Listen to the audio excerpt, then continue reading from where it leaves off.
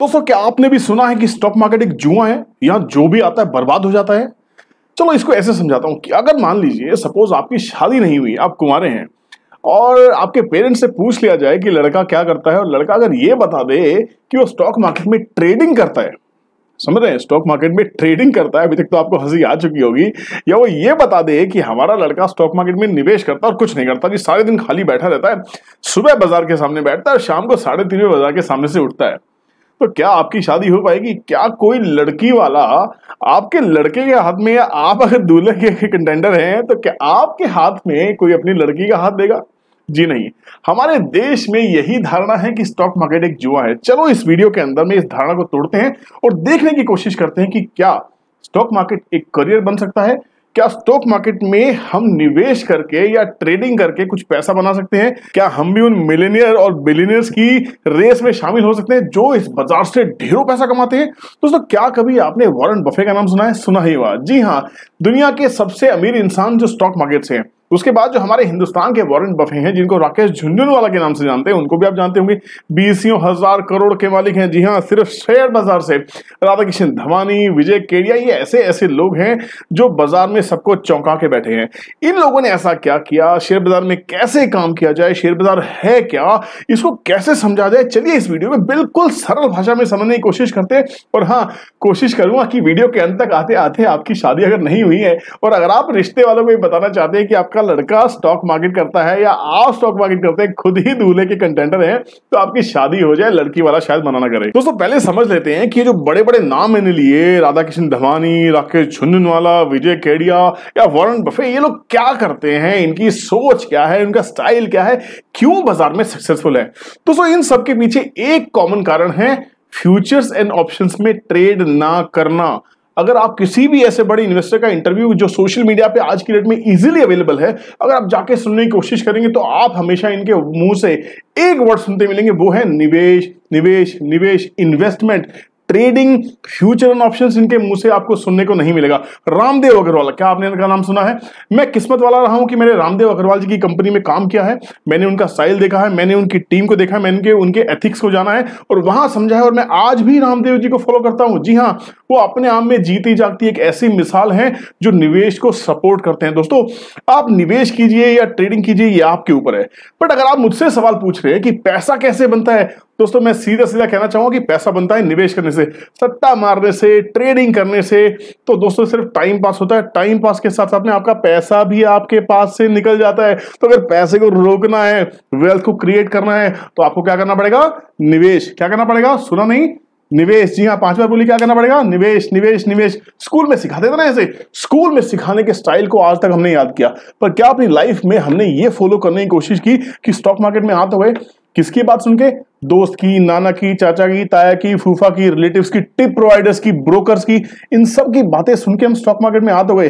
पर क्या किसी ने भी आपको यह ज्ञान दिया कि बेटा स्टॉक मार्केट एक निवेश का ज़रिया है? एक निवेश का प्लेटफॉर्म है, यहाँ ट्रेडिंग और सट्टे से पैसा नहीं बनाया जा सकता। दोस्तों, इस वीडियो के माध्यम से मेरी हर उस ब्रोकर से या हर उस ऐसे इंसान से जो आपको प्रेरित करता है स्टॉक मार्केट में आने के लिए, मेरी उन लोगों से हाथ जोड़ के विनती है, रिक्वेस्ट है कि प्लीज़ आप लोगों को निवेश की तरफ़ प्रोत्साहित कीजिए, उनको मोटिवेट कीजिए, उनको बताइए कि फ्यूचर ऑप्शन ठीक है टूल है हेजिंग का टूल है, या उसमें भी काम किया जा सकता है, बट अगर आपको वेल्थ क्रिएट करनी है, आपको करोड़पति बनना है, आपको बिलीनियर बनना है स्टॉक मार्केट से तो सिवाय निवेश के और कोई भी साधन साधन संभव नहीं है। जो लोग फ्यूचर ऑप्शंस में काम करते हैं, बिना किसी नॉलेज के, दोस्तों, उनको बर्बाद होने में टाइम भी नहीं लगता। सिर्फ़ एक क्षण भर की देरी है, एक गलत ट्रेड और पूरा पूरा पैसा साफ़। इस वीडियो में देखने की कोशिश करेंगे शेयर बाज़ार कैसे काम करता है, क्यों है, क्या है, कैसे किया जाए, हमारा डिसिप्लिन क्या हो, हम क्या करें कि सक्सेसफुल हो जाए। तो आप लोगों के लिए इस वीडियो को बिल्कुल ही सरल भाषा में बनाए बिल्कुल सिंपल हिंदी में सबको समझ में आएगा। मामा को, चाची को, ताई को, बुआ को, फूफा को, चाचा को, नाना को सबको समझ में आने वाला। तो प्लीज़ दोस्तों को बताइए स्कूल के बच्चे इसको समझ सकते हैं कॉलेज के बच्चे इसको समझ सकते हैं। जी हाँ मैं मोटिवेट करता हूँ। किनको हाउसवाइफ्स को, किनको स्टूडेंट्स को जी हाँ जो स्टूडेंट स्कूल के हो चाहे कॉलेज के हो मैं इस चीज़ का स्ट्रॉन्ग बिलीवर हूँ कि आपको स्टॉक मार्केट सीखनी ही चाहिए। जितने भी स्कूल कॉलेज में मैंने विज़िट किया है आज तक अपने मोटिवेशन लेक्चर्स मैंने दिए मैंने हमेशा कहा है कि आपको स्टॉक मार्केट की नॉलेज होनी ज़रूरी है। तो, तो ज़िंदगी में आप हमेशा फाइनेंस से जुड़े रहते हैं। जी हाँ चाहे आप कॉमर्स बैकग्राउंड के हों या ना हो आप मेडिकल के हों आर्ट्स के हों किसी भी चीज़ के हो ज़िंदगी में कमाने तो पैसा ही जाते हैं। किसी ने बड़ी ज़बरदस्त बात कही है कि अगर पैसा आप खर्च करते रहेंगे तो जो बचेगा उसको निवेश नहीं कर पाएँगे। बट कुछ सक्सेसफुल लोग क्या करते हैं? पहले पैसे को बचा के उसको निवेश करते हैं, बाद में जो बचता है उसको खर्च करते हैं। हम और आप क्या कर रहे हैं? सैलरी आई, तीस हज़ार रुपए, पंद्रह हज़ार रुपए की ईएमआई बना ली, पाँच हज़ार रुपए की पार्टी कर ली, आखिरी में देखा झुंझुना हिला रहे हैं, कुछ हाथ में बचा नहीं है। दोस्तों, और सक्सेसफुल लोग जो लॉन्ग टर्म में जाते हैं, क्या करते हैं? कहीं निवेश करते हैं, थोड़ा गोल्ड लेते हैं, या एसआईपी कर देते हैं, या कुछ भी ऐसी चीज़ों को प्लान करते हैं जो उनके पैसे को कंपाउंडिंग करेगा। जी हाँ पावर ऑफ़ कंपाउंडिंग अपने आप में एक बहुत ही बड़ा अजूबा है। दुनिया का सबसे बड़ा अजूबा पावर ऑफ़ कंपाउंडिंग सिंपल सी एक्सेल में जाइए मल्टीप्लाई कीजिए, अपने रेट ऑफ़ इंटरेस्ट को कंपाउंड निकालने की कोशिश कीजिए, आप हैरान हो जाएँगे कितनी जल्दी कितना पैसा बना सकते हैं आप। दोस्तों, मेरा नाम विपुल कौशिक है। मैं स्टॉक मार्केट में 20 साल से हूँ, इस बाज़ार में नौकरी कर चुका हूँ और अब एक ट्रेडर ट्रेनर और मेंटोर की तरह इस बाज़ार में लोगों को सिखा रहा हूँ। और पिछले सालों में मैंने हज़ारों लोगों को ट्रेन किया है। हज़ारों लोगों को बताने की कोशिश की कि स्टॉक मार्केट में कैसे निवेश किया जाए और कैसे ट्रेड किया जाए। क्या डिफरेंस होता है एक ट्रेडर के बीच में और एक निवेशक के बीच में? जी हाँ लोगों को यही नहीं मालूम कि वो निवेशक है या ट्रेडर वो आते हैं ट्रेडर बन के जब सौदा फंस जाता है तो निवेशक बन जाते हैं। उनको यह भी नहीं पता होता कि अपने स्टॉक को कब तक झेलना है, कब तक होल्ड करना है, कहाँ एवरेज करनी है, कहाँ पे और माल उठाना है। दोस्तों, एक स्टेटमेंट है कि when everybody is selling be a buyer and when everybody is buying be a seller जब दुनिया खरीद रही हो, माल बेचो, निकलो, यही सक्सेस है। और जब दुनिया बेच रही हो, क्या करोगे? क्या करोगे? जल्दी बताओ। खरीदना है। जी हाँ जब दुनिया बेच रही हो, अगर उसमें वैल्यू है, उसमें वैल्यू इन्वेस्टिंग कर सकते हैं। अगर आपको लग रहा है कि बहुत ही शानदार कंपनी आपको सस्ते भाव में मिल रही है अंडर वैल्यूड मिल रही है तो आप उसे खरीद सकते हैं। चलिए, वीडियो में समझते हैं कि स्टॉक मार्केट है क्या। स्टॉक मार्केट बेसिकली अगर आपको बिल्कुल आसान भाषा में समझाने की कोशिश करूँ तो ये आपके आसपास में अगर आप देखेंगे कोई भी मार्केट होगी फ्रूट मार्केट या वेजिटेबल मार्केट चलिए, बाज़ार में आप सेब खरीदने के लिए जाते हैं। सेब वाले ने कहा तीन सौ रुपए किलो का बढ़िया सेब है। आप कहते हैं, यार, नहीं, तीन सौ नहीं, ढाई सौ लगा। वो कहता, नहीं, सर, यार, इसमें मेरा पड़ता नहीं खाएगा। ये मुझे वारा नहीं खाएगा। प्लीज़ थोड़ा सा और भाव बढ़ा दीजिए। तो आप कहते चल यार 260 ना तेरी नमी दो सौ साठ। कहते नहीं सर तो दो सौ अस्सी। कहीं ना कहीं जाके 280 270 में आपका सौदा तय हो जाता है। इसका मतलब क्या हुआ? आपने एक प्राइस को डिस्कवर किया। This is called as price discovery stock market is nothing it is a platform where price of a particular equity और stock which is listed into stock market the price is discovered जी हाँ मैंने buyer meets seller क्या होता है? Price discovery होती है। जी हाँ price discovery होती है। और इसी प्राइस डिस्कवरी की वजह से भाव ऊपर और नीचे जाते हैं। कभी बायर ने कहा, भाई, मैं तो खरीदने को तैयार हूँ, जिस मर्ज़ी भाव पे मिल जाए। मतलब उसको लगता है कि, भाई, यहाँ पे बड़ी ज़बरदस्त न्यूज़ आई है। ये कंपनी का एक टर्न हो सकता है तो वो किसी भी भाव पे खरीदने को तैयार हो जाता है। जब किसी शेयर के अंदर में किसी भी भाव पे खरीदने के लिए बायर हमेशा रेडी रहते हैं तो स्टॉक का भाव आसमान छूने लगता है, वो ऊपर की तरफ़ जाने लगता है। 200 का माल 400 600 800 होने में टाइम नहीं लगता। आपने देखा होगा कोविड के बाद जितनी भी कंपनी धराशायी हो गई थी, जहाँ लोग डर रहे थे कि बाज़ार में पैसा नहीं लगाना, फिर से बर्बाद हो गए। वहीं पे आबाद होने वालों की लाइन लग गई थी। जिन लोगों ने वैल्यू बाइंग की, जिन लोगों ने अंडर वैल्यूड कंपनीज़ को खरीदा, जिन लोगों ने देखा कि हाँ ये बिज़नेस खरीद रहा हूँ। दोस्तों स्टॉक मार्केट बिज़नेस है। क्या कहा? बिज़नेस जुआ नहीं है। जिन लोगों ने स्टॉक मार्केट में शेयर को बिज़नेस समझ के खरीदा है। उन्होंने लाखों करोड़ों रुपए कमाए हैं, कमाते रहेंगे। बट जिन लोगों ने स्टॉक मार्केट में सिर्फ़ एफ़ का दामन एफ़ मतलब क्या है ये वो दो प्रोडक्ट है स्टॉक मार्केट के, जो अगर आपने बिना समझे ट्रेड किया इनके अंदर में तो बर्बाद करने से आपको कोई रोक नहीं सकता। दोस्तों, अगर बर्बाद होना है, जाइए एफ़ कीजिए। बट अगर आपको आबाद होना है, पैसा बनाना है, आप एक सोर्स ऑफ़ इनकम के लिए आए हैं, आप एक सेकंड सोर्स ऑफ़ इनकम के लिए आए हैं, आप सोच रहे हैं जॉब कर रहा हूँ, थोड़ा सा पैसा और बना लूँ तो निवेश को ही आपको पहली प्रेफरेंस देनी होगी। नहीं तो आपको एक प्रोफेशनल ट्रेडर बनना हुआ प्रोफेशनल ट्रेडर की ज़िंदगी जीनी होगी, उसकी तरह मेहनत करनी पड़ेगी। गलती क्या है ये समझ लीजिए। जितने भी लोग हैं, वो क्या करते हैं? पहले ट्रेड डालते हैं, फंस जाते हैं लॉस खाते हैं, फिर सीखने जाते हैं। क्या करते हैं? पहले ट्रेड डालते हैं। आपके साथ भी हुआ है ना, आपने भी यही किया ना? पहले ट्रेड डाला, कैसे? भाई ने कहा था, ले ले। दोस्त ने कहा था, ले ले। ब्रोकर ने कहा था, ले ले। टिप प्रोवाइडर का फ़ोन आया। आपका स्टॉक मार्केट में काम धंधा कैसा चल रहा है? आप बड़े एक्साइटेड हो गए। अरे भाई, किसी ने पूछा है तेरा धंधा कैसा चल रहा है? आजकल लोग किसी का हाल नहीं पूछते। कोई आपसे पूछ रहा है कि आपका धंधा कैसा चल रहा है स्टॉक मार्केट में? ट्रेड कैसा चल रहा है? आप कहते हैं, सर, ठीक चल रहा है। पिछले हफ़्ते लॉस हुआ। अच्छा लॉस हुआ? अरे, मेरी टिप को कोशिश कीजिए फॉलो करने की। मैं आपको रातों रात पैसे बना के दे दूँगा। उनका धंधा बड़ा गंदा है। उस धंधे के ऊपर कभी और वीडियो बनाएँगे, आपको समझ आएगा वो धंधा क्या है, वो काटल क्या है, मेरे चैनल के ऊपर बहुत सारी वीडियोस आपको मिल भी जाएँगी बट मैं कहूँगा टिप प्रोवाइडर्स के चक्कर में मत पड़िए, क्योंकि अगर टिप प्रोवाइडर को सब कुछ आता तो क्या आपको टिप प्रोवाइडिंग करता हो? आप सोच के देखिए, बड़ी छोटी सी बात है, बड़ी सिंपल सी बात है। दोस्तों, हाल ही में एक टिप प्रोवाइडर से मेरी बातचीत हुई थी, जिसका ब्यौरा पूरा रिकॉर्ड करके मैंने अपने यूट्यूब चैनल के ऊपर डाला। आप देखेंगे, आप हंस के लोटपोट जाएँगे। उनको बेसिक ज्ञान भी नहीं होता है। तो टिप प्रोवाइडर्स चाहे वो ब्रोकर हो, चाहे वो कोई एजेंसी हो, किसी के चक्कर में आपको नहीं पड़ना। टिप सबकी ले लो, सुनो सबकी, बड़े बुज़ुर्ग क्या कहते हैं? सुनो सबकी करो मन की, करो अपनी, जो आपका मन कहे, जो आपकी स्टडी कहे, जो आपके डाटा कहे, जो आपके स्टैट्स कहे, वो करना है। आपको किसी ने कहा, हिंदुस्तान लीवर ले लो। अरे, क्यों ले लो हिंदुस्तान लीवर पहले देखो, हिंदुस्तान लीवर अंडर वैल्यूड है ओवर वैल्यूड है ओवर सोल्ड है ओवर बोट है। क्या है, क्या पैरामीटर्स है? फंडामेंटल सही है कि नहीं है? कोई खास कॉम्पिटिशन तो नहीं आ गया है? क्या कंपनी में कोई गड़बड़ तो नहीं हो गई है? अगर कंपनी की डिमांड बढ़ने वाली है कंपनी के प्रोडक्ट्स की और अच्छी डिमांड आने वाली है, ऐसी कोई सिचुएशन क्रिएट हो रही है जहाँ एफएमसीजी प्रोडक्ट्स की डिमांड आने वाली है तो भाई लेंगे। नहीं तो हम उसको छोड़ देंगे। सुनो सबकी। करो, अपनी स्टडी करो डेटा पॉइंट्स देखो। बहुत सारी फ्री वेबसाइट्स है जहाँ डेटा अवेलेबल है। यार जाके देखो। वीडियो में आगे बढ़ने से पहले दोस्तों, मेरी आपसे गुजारिश है, ये एफ़ की लत को छोड़ दीजिए जब तक आपको बहुत अच्छे से इसकी प्रैक्टिस ना हो जाए। नहीं तो आप स्टॉक मार्केट को गैम्बल कहेंगे गाली देंगे, इस बाज़ार से बाहर जाएँगे और कहेंगे, स्टॉक मार्केट ने बर्बाद कर दिया क्योंकि बर्बादी आप अपने हाथ से तय कर रहे हैं। मैं खराब शब्दों का इस्तेमाल कर रहा हूँ बट यही शब्द है जो आप खुद अपने इस्तेमाल करने वाले हैं बाद में। इसलिए सक्सेसफुल लोगों को फॉलो कीजिए, वो क्या करते हैं? पहले सीखते हैं they learn first then they then they they practice a lot they don't trade yes they learn first they practice a lot वो मिनिमम क्वांटिटी से मिनिमम से अमाउंट uh, से ट्रेडिंग करते हैं बैक टेस्टिंग करते हैं अपनी स्ट्रेटेजीज को टेस्ट करते हैं अपने सेटअप को टेस्ट करते हैं। वो टेस्ट होने के बाद में जब उनकी सक्सेस रेशियो 80 85 परसेंट से ऊपर चली जाती है फिर उनकी गट फीलिंग उनका कॉन्फिडेंस बढ़ जाता है फिर वो बाज़ार में पैसा लेके आते हैं। उनका रिस्क एपेटाइट वो चेक करते हैं। रिस्क एपेटाइट अगर है तो ठीक है। आपके साथ क्या होता है? सौदा लेते ही अगर दिल की धड़कन बढ़ जाती है और टेंशन हो जाती है बटरफ्लाइज इन द स्टमक जिसको कहते हैं इंग्लिश में अगर वो आपके साथ होता है तो भाई स्टॉक मार्केट आपके लिए नहीं है सिंपल सी बात है। सौदा लेते ही अगर हाथ पाँव फूल गए, घबराहट हो गई, भाई क्या करूँ रात भर नींद नहीं आ रही है, सोच रहा हूँ, भगवान से हाथ जोड़ रहा हूँ, मंदिर में घंटी बजा रहा हूँ, प्रसाद चढ़ा रहा हूँ, सौदा थोड़ी ना ऊपर आता है ऐसे। सौदा गलत किया आपने, भगवान ने ठेका लिया आपका सौदा सही करने के लिए। दोस्तों, पहले सीखिए, सीखने के बाद उसको प्रैक्टिस कीजिए प्रैक्टिस करने के बाद ट्रेड कीजिए। अब लोग कहेंगे, सर, कितना प्रैक्टिस करूँ? प्रैक्टिस क्या दो दिन की होती है, चार दिन की होती है, छह महीने की होती है, ये कौन तय करेगा? ये आप खुद तय करेंगे। जब तक आपके दिल की धड़कन ट्रेड लेने के बाद रुक ना जाए, आप समझ के देखिए, जो धड़कती रहती है धक धक धक धक धक जो घबराहट रहती है, वो घबराहट जब बंद हो जाए, समझ लीजिए प्रैक्टिस पूरी हो गई, आपकी accuracy eighty eighty five percent से ऊपर अगर चली जाए, समझ लीजिए प्रैक्टिस पूरी बस उसके बाद छोटी क्वांटिटी से ट्राई करना है। पहले दस शेयर से ट्राई कीजिए, दस को बीस कीजिए, बीस को पचास कीजिए, पचास को सौ कीजिए, सौ को दो सौ कीजिए, ये करने में छह महीने, छह साल लगते हैं। लगने दीजिए भाई स्टॉक मार्केट एक बिज़नेस है। है क्या? स्टॉक मार्केट में यहाँ पे अगर देखेंगे, जितनी भी कंपनीज़ हैं, जितनी भी कंपनीज़ हैं, देश का पूरा कारोबार करती हैं वो कंपनीज़ अगर निफ्टी फिफ्टी की अगर बात करें, ये वो इंडेक्स है जहाँ पे पचास शेयर हैं, पचास कंपनीज़ है, दिग्गज कंपनी है हिंदुस्तान की। सारा काम करती हैं। आईटीसी हो, हिंदुस्तान लीवर हो रिलायंस इंडस्ट्रीज़ हो टीसीएस हो विप्रो हो एक्सिस बैंक हो आईसीसी बैंक हो रिलायंस इंडस्ट्रीज़ हो, कुछ भी कीजिए, ये सभी वो कंपनीज़ हैं जो देश का सारा काम करती हैं। इसमें स्टील है, इसमें सीमेंट है, इसमें आईटी है, इसमें एफएमसीजी है, इसमें टेक्सटाइल है, क्या नहीं है, इसमें फाइनेंस है बैंकिंग है तो धंधा करना है, अगर कोई पूछे आपसे, भाई, धंधा करना है क्या? तो बोलो, स्टॉक मार्केट करना है।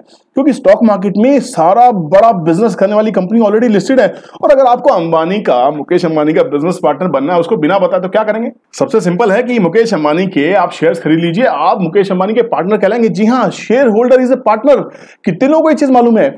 अगर आप ये सोचते हैं, मैं तो भाई ट्रेडिंग करने जा रहा हूँ। आपकी सोच ही गलत है।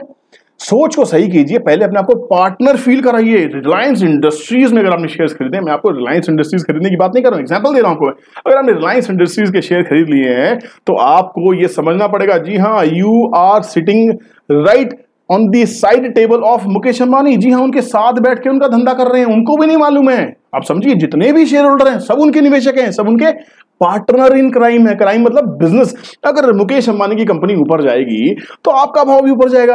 आप प्रॉफिट कमाएँगे, हो सकता है कंपनी डिविडेंड दे दे, हो सकता है कंपनी बोनस दे दे, खुश होकर मुगैम्बो खुश होगा तो बहुत कुछ देगा। है ना? अगर कंपनी को घाटा होगा तो आपको भी घाटा होगा यार। ये तो आपके साथ भी है। अगर मान लीजिए, बिना सोचे समझे कोई कपड़े की दुकान खोल लें, कोई छोले भटूरे की दुकान खोल लें, आपको काम धंधा नहीं करना आता, अरे वहाँ भी दस बीस लाख का नुकसान हो सकता है। स्टॉक मार्केट में भी नुकसान हो सकता है। नुकसान कहाँ नहीं है? रिस्क कहाँ नहीं है? घर से निकले गाड़ी पंचर होगी, एक्सीडेंट हो गया क्या रिस्क नहीं है? रिस्क तो हर जगह है। एक बात बताइए, छोटा सा एग्ज़ाम्पल आपको देता हूँ कार रेसिंग का है बाइक रेसिंग मुझे जॉब पे जाना है बॉस ने कहा, नौ बजे आपका रेड मार्क लग जाएगा, अगर आप ऑफ़िस में नहीं पहुँचते तो। अब क्या करेंगे, कुछ लोग क्या करते हैं, सुबह साढ़े सात बजे घर से निकलते हैं, चालीस किलोमीटर प्रति घंटे की रफ्तार से, फोर्टी किलोमीटर पर आवर की रफ्तार से, वो बाइक चलाते हैं, अपना व्हीकल चलाते हैं कार चलाते हैं, अपने डेस्टिनेशन में पहुँच जाते हैं, एक घंटे में पहुँच जाते हैं, नौ बजे पहुँचा था साढ़े आठ बजे पहले पहुँच के रेस्ट करने लग जाते हैं। एक तो वो हुआ, दूसरा हुआ धुरिंदर, घर से निकलते हैं सवा आठ बजे।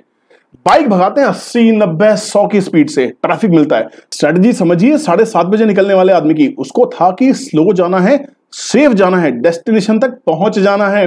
डेस्टिनेशन तक फास्ट चलाने वाला भी जा रहा है, जिसकी स्पीड है अस्सी से सौ किलोमीटर प्रति घंटे की। आपने भी बाइक चलाई होगी, आपने भी ये रिस्क लिए होंगे लाइफ में।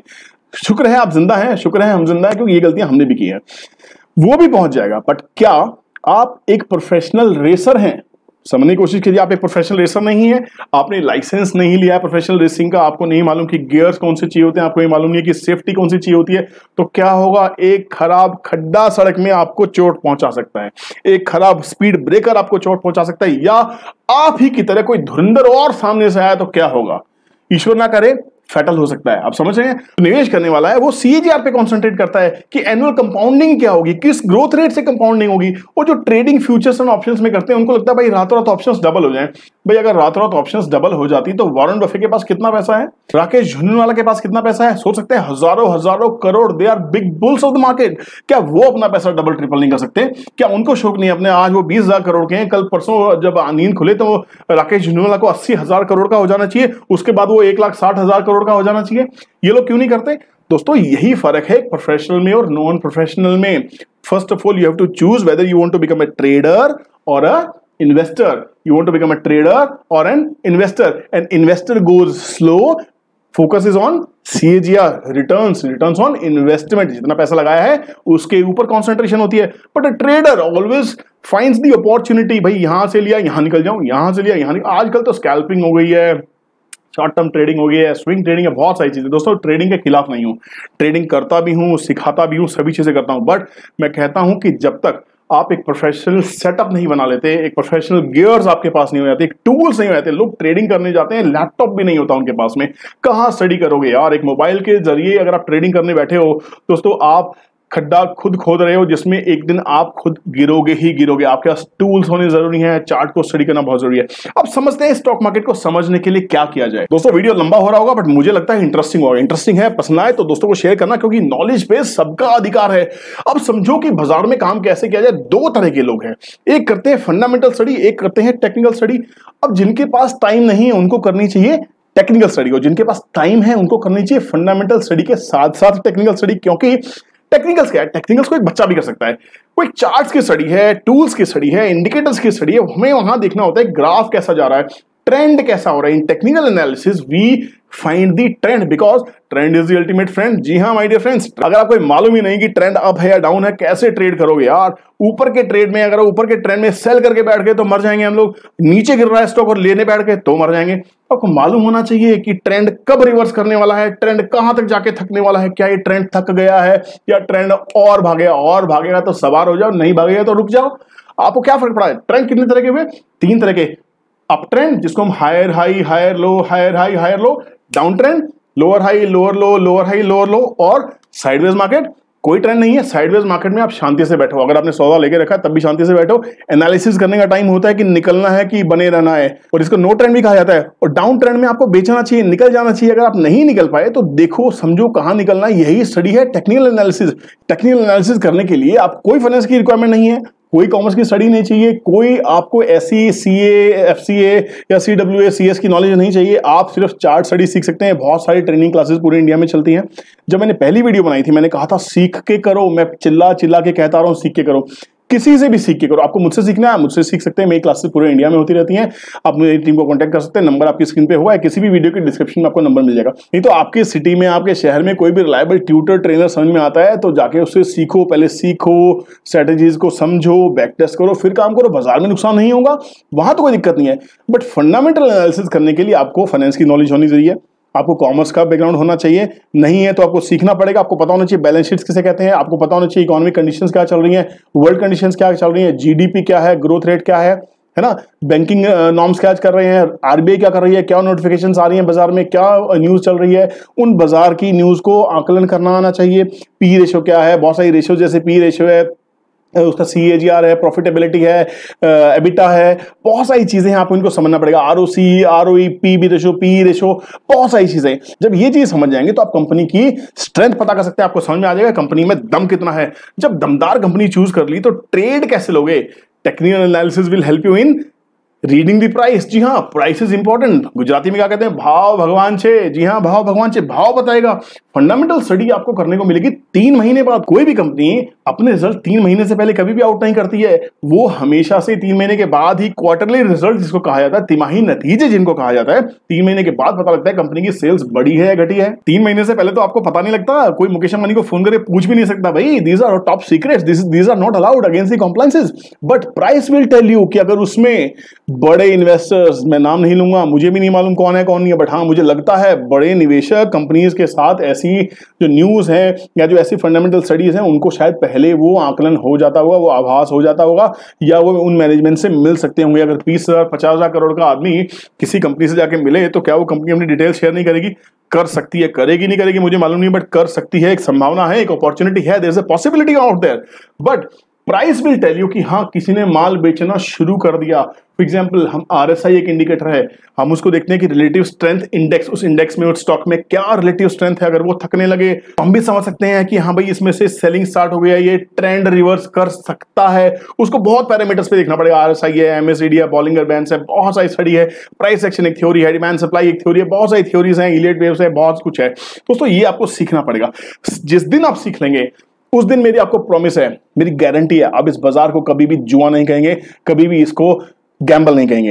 ये बाज़ार जब तक गैम्बल है, उन लोगों के लिए गैम्बल है, जो सिर्फ़ आते हैं मज़े लेने के लिए, सोचते हैं दो का चार करने के लिए, चार का बीस करने के लिए, उनके दो के चार भी हो जाते हैं, चार के बीस भी हो जाते हैं बट जो घर में बीस के ऊपर जेब से पचास लगाते हैं, वो टोटल पैसा चला जाता है। दोस्तों, जो लोग इंडिया में स्टॉक मार्केट का हिस्सा है, वो सिर्फ़ चार परसेंट है।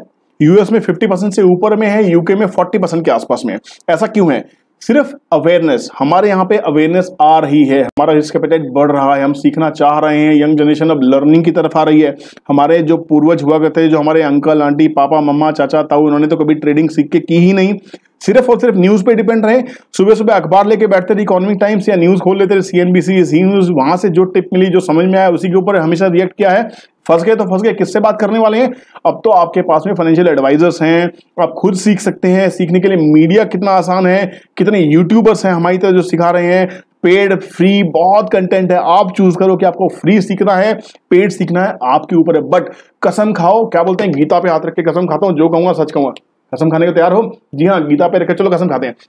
मैं गीता पे हाथ रख के कसम खाता हूँ। गीता पे क्या? चलो, दिल पे हाथ रखो यार। मैं दिल पे हाथ रख के कसम खाता हूँ कि स्टॉक मार्केट में अगर मैं बिना सीखे ट्रेड कर रहा हूँ, आज और अभी से बंद कर दूँगा और जब तक सीख के मैं प्रैक्टिस नहीं कर लेता, मैं कोई पैसा नहीं लगाऊँगा बाज़ार में। जी हाँ आपको सीखना है, सीखने के बाद प्रैक्टिस करनी है, उसके बाद ही ट्रेड लेना। दोस्तों, ये शपथ आपको ज़िंदगी में बहुत दूर लेके जाएगी। दोस्तों, पहले तो स्टॉक मार्केट में इंडिया में सिर्फ़ चार परसेंट लोग पैसा लगाते हैं। उस चार परसेंट में से भी नाइन्टी सिक्स परसेंट पैसा गंवाते हैं। जी हाँ नाइन्टी सिक्स परसेंट गंवाते हैं क्योंकि वो आते हैं फ्यूचर ऑप्शन के पीछे, वो आते हैं क्विक मनी के पीछे। उनको लगता है, ये ले लूँ, वो बेच लूँ, वो बेच लूँ, ये कोई तो टिप दे दे, कोई तो बता दे क्या चलने वाला अरे भाई, कोई क्यों बता दे? अगर किसी को मालूम हुआ, क्या राकेश झुंझुनवाला जी की आपने कभी इंटरव्यू सुने हैं? क्या वाकई कभी बोलते हैं कि मैं ये लेने वाला हूँ, वो लेने वाला हूँ? जी नहीं, वो ले लेते हैं, लेने के बाद उनके पोर्टफोलियो सामने आते हैं। समझिए, वो लेने से पहले कभी नहीं बताते, मैं क्या लेने वाला हूँ? क्यों बताएँ किसी को यार? तो आपको अपना ट्रेड लेना खुद सीखना होगा, अपना शेयर का चयन करना खुद सीखना होगा। सबसे इंपॉर्टेंट क्या है? शेयर कौन सा लेना है? कितने समय के लेना है क्यों लेना है, कब उसमें निवेश करना स्टार्ट करना है, कब तक निवेश करना है और कब एग्जिट करना है, यही तो एक स्ट्रेटजी है। स्ट्रेटजी इंडिकेटर के बेस पे नहीं होती। अगर आप एक स्ट्रेटजी के साथ में, एक डिसिप्लिन के साथ में, एक मनी मैनेजमेंट के साथ में आएँगे तो आप कभी भी इस बाज़ार से धोखा नहीं खाएँगे। ये बाज़ार वेल्थ क्रिएशन करने का बहुत बड़ा समंदर है। जितना चाहे आप इसमें से निकाल सकते हैं। इसमें हीरे, मोती जवाहरात सब भरा हुआ है। इसमें से पैसा कमाना sky is the limit but कैसे कमाना है? ट्रेडर बनके कमाना है या इन्वेस्टर बनके कमाना है, ये आपके ऊपर छोड़ रहा हूँ, ये आपकी गट फीलिंग आपकी कॉन्शियस के ऊपर मैं छोड़ रहा हूँ, आपको सीखना है नहीं सीखना, ये भी आपके ऊपर छोड़ रहा हूँ, क्योंकि मैं तो वहाँ पे आपको सिखा नहीं सकता, सीखने के लिए आप ही को मेरे पास या मेरे जैसे किसी ट्रेनर के पास जाना पड़ेगा, या आप खुद सीखना चाहते हैं गूगल सब कुछ सिखा देता है गूगल पे जाइए यूट्यूब पे जाइए, जो सीखना सीखे, पर प्लीज़ मेरी आपसे रिक्वेस्ट है, बिना सीख के ट्रेड मत कीजिए। वो चार परसेंट लोग जो पैसा कमाते हैं, उनमें से भी नाइन्टी परसेंट लोग पैसा कमाते हैं, क्योंकि उनमें से नाइन्टी परसेंट लोग ट्रेडर्स होते हैं। चार परसेंट लोग निवेशक होते हैं जिनको पता है बाज़ार में कैसे काम करना है। अभी ऑप्शन में आपके सामने छोड़ रहा हूँ कि आपको निवेशक बनना है या ट्रेडर बनना है। दोनों में ही फ़ायदा है, पर दोनों के साथ में एक डिसिप्लिन जुड़ा हुआ है, दोनों के साथ में एक स्टडी जुड़ी हुई है, दोनों के साथ में एक प्रैक्टिस जुड़ी हुई है। आपको क्या करना है? ये आपको तय करना है। आई होप स्टॉक मार्केट के बारे में आप समझ गए होंगे। दोस्तों, अगर आप प्रोफेशनल ट्रेडर बनना चाहते हैं प्रोफेशनल इन्वेस्टर बनना चाहते हैं, कैसे ट्रेड किया जाए, क्या सेटअप्स होते हैं, क्या करना है तो हमारी क्लासेस पूरे हिंदुस्तान में होती रहती है। अभी हाल फ़िलहाल में हमारी क्लास दिल्ली में होने वाली है, अट्ठाईस और उनतीस अगस्त को। फिर उसके बाद हम अहमदाबाद जाएँगे, ग्यारह और बारह सेप्टेंबर को। गाइस मैं ऑनलाइन क्लासेस नहीं लेता हूँ। मुझे पर्सनल इंटरेक्शन में जो आनंद आता है, जो मज़ा आता है, जो सेटिस्फेक्शन आती है, वो कहीं नहीं हो सकती।